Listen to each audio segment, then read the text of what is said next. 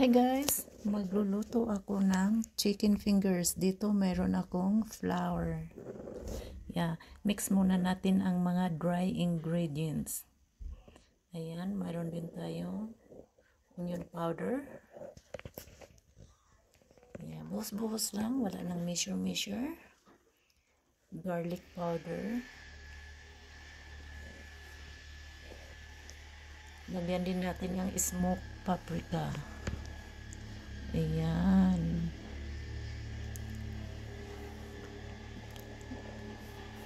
Salt and pepper. Ang gamit ko ay pink salt, guys. Himalayan salt dahil ako ay naka low iodine diet.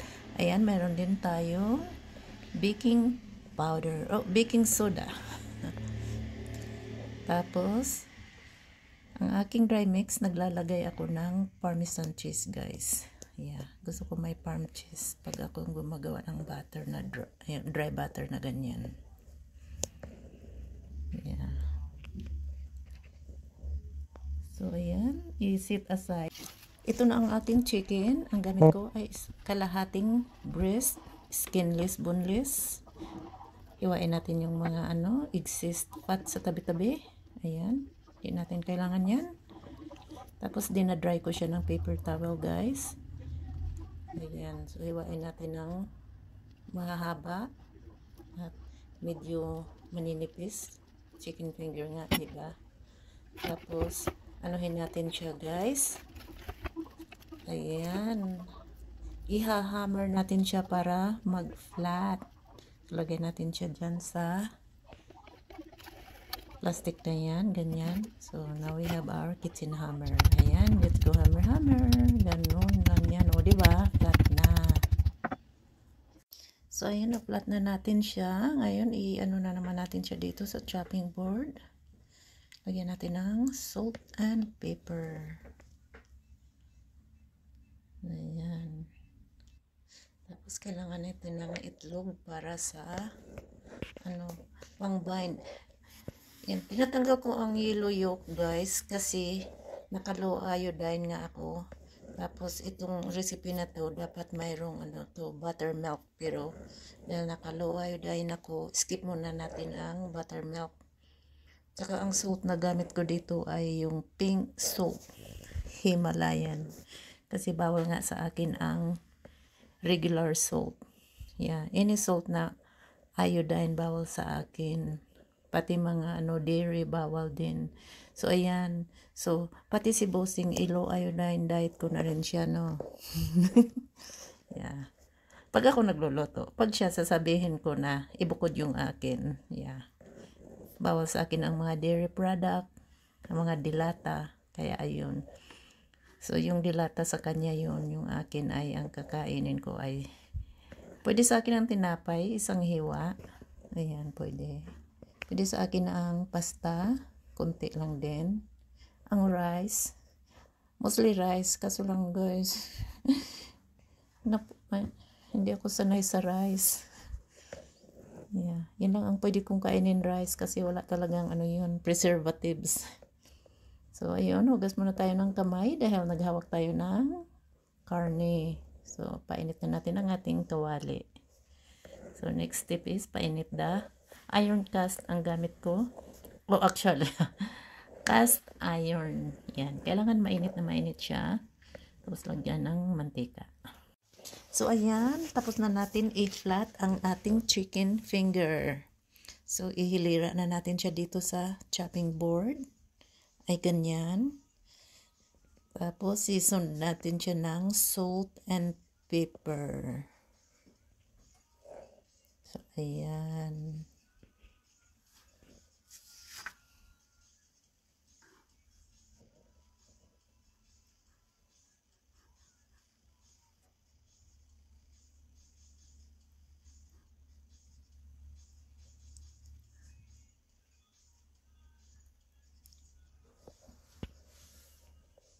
Mas malasa siya guys kung binabrine. Brine ng at least 1 hour. Pero wala na. Ako wala nang brine brine. Dire-diretso na. Only if it's uh, special occasion nagba-brine kami. Yeah. Pero kung ano lang, pang araw-araw na pagkain, wala nang brine-brine. Ayan, kailangan natin ng itlog. Dito sa itlog guys, um, hindi ako gagamit ng yolk. Tatanggalin ko si yolk kasi nga bawal pala sa ano yon sa low iodine diet, bawal pala ang yolk. Kaya ayun, yung puti lang kailangan natin. Anyway, pang bahin lang naman yan ng ano eh, ng chicken para ano, dumikit yung ating dry um dry mix. Ayan. Tapos itong recipe na to dapat naka-ano din yan siya. Naka-brine nga dapat sa ano yan, buttermilk. Mas masarap kung naka-brine sa buttermilk. Kaso lang, hindi rin pwede sa akin yun. Kaya, this this muna, 2 weeks lang naman ito eh. 2 weeks lang ang ating low iodine. Kasi magtitake nga naman ako ng, anong tawag doon? Isasalang na naman ako sa, sa, sa, sa, nakalimutan ko na pangalan. Something about low iodine thing eh. Therapy. Ayan. Ayan. So, two weeks kailangan natin mag, ng mag-low iodine dahil hindi daw um, hindi daw effective ang uh, therapy kung hindi ko gawin yun. Sayang, mahal na gamot yun guys. Super mahal.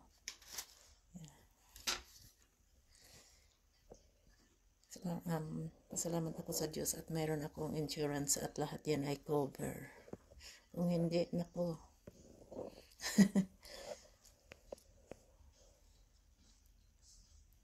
Ayan lahat ng mga ano natin, lahat ng ating mga ingredients ay always mayroong asin at black pepper.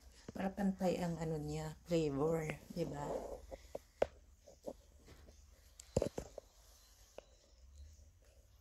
Sure na lahat ay may flavor.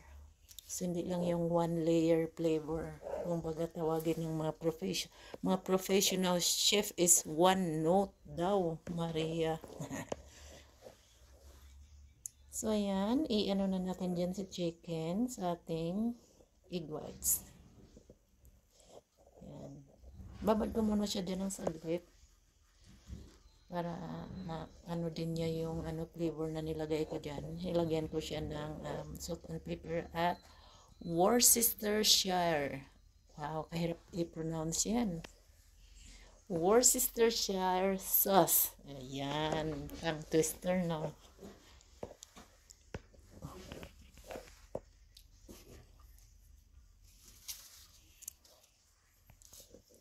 ano ko lang yun, twist ko lang yun. Yeah. My own recipe.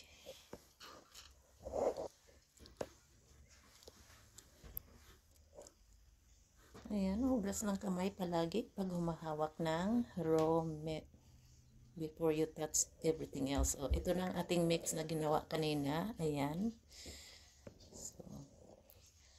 i-ano na natin siya dito. Be-breading na natin. So, yung mix ko ay inaluan ko rin siya ng pan ko guys para may crunch ang ating chicken. Yeah. Minix ko si ano, si flour at saka si pan ko para may crunch ang chicken natin. Ayan. Para malutong. So, ayan. Sishoot natin ang ano, exist flour para hindi masyadong makapal ang ating breading. Tayo ko rin ng puro ano, flour ang aking chicken guys.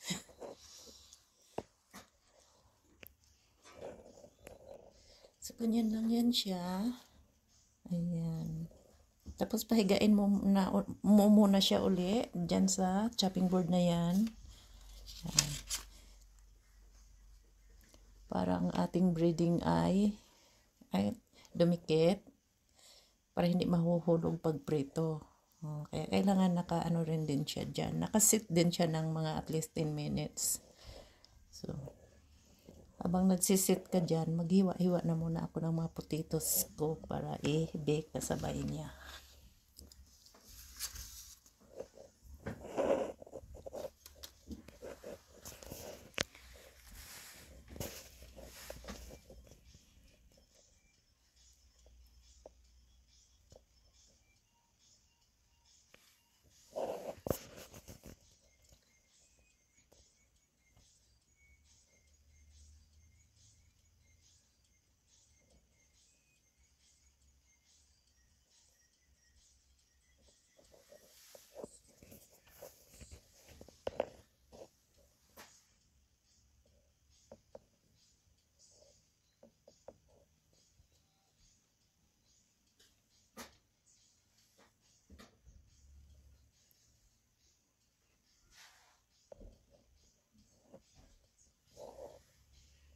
Last one na to siya. So, ayan, paano lang natin siya dyan.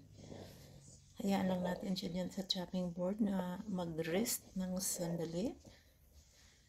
Tapos mamaya-maya, ipainit ko na ang aking kawali.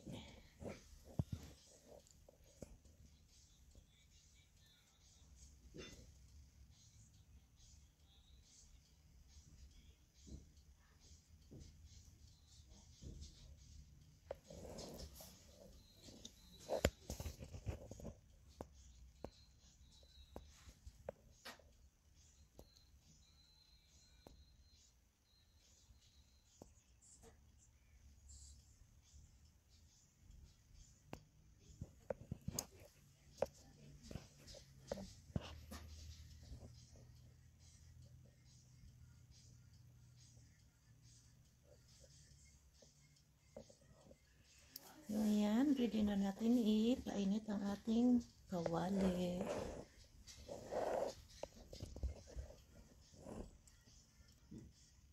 Ayan, ang bigat nito guys, cast iron. Ayan ko siya ipan fry sa aking cast iron. Kailangan mainit na siya bago lagyan ng mantika. Matagalin kaya ito painit.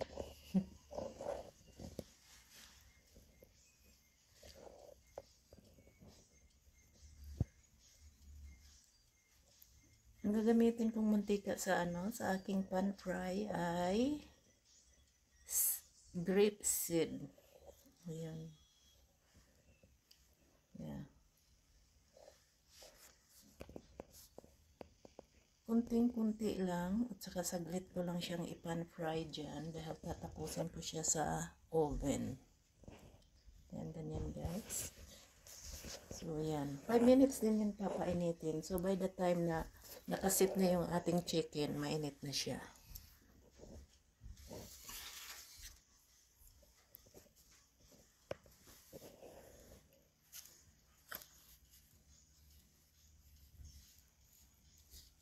So, ayan, mainit na ang mantika. Pwede na natin ilagay ang ating chicken.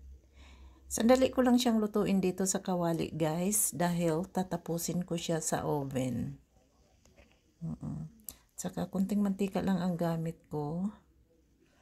Ayan. Pan frying lang siya. Kunting-kunti lang, ayan.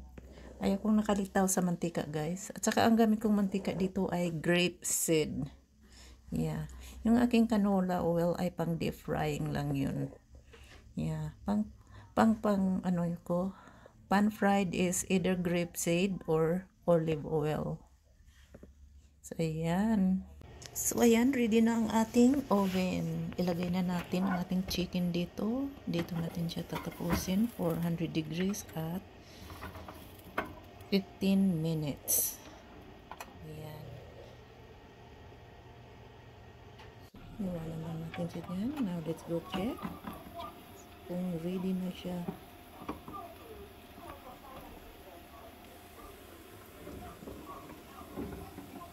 Ayan, kunti pa. So, nababalik na rin natin. Ayan, meron din akong nilagay dyan. Binibake ko along with my chicken is potatoes para sa akin. So, ito, mayroon akong dilatang baked beans para kay busing. Ayan.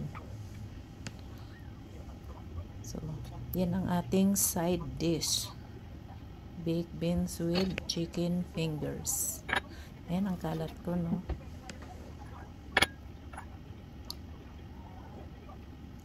Ayan, papainit lang natin siya sa microwave. A minute and a half. Pwede na yun.